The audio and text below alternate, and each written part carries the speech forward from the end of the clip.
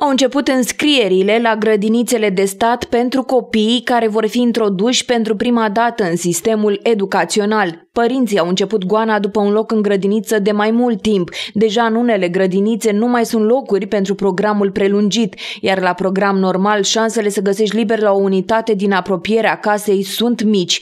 Cât despre creșe, aici totul este ca la loterie. În județul Olt, la uh, nivelul preșcolar, avem 2868 de locuri. Uh, acestea sunt în 2183 în grădinițe cu program normal, iar diferența 685 în grădinițe cu program prelungit.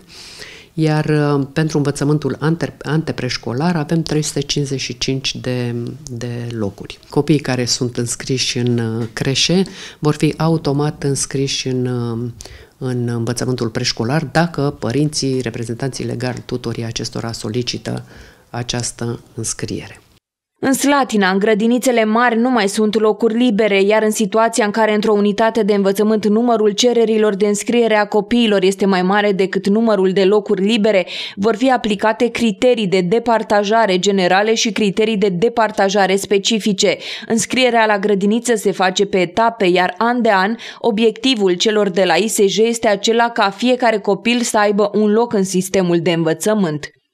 Dacă vorbim despre Slatina, în uh, grădința cu program prelungit avem 264 uh, de locuri, iar în, uh, la nivelul antepreșcolar 145 de locuri.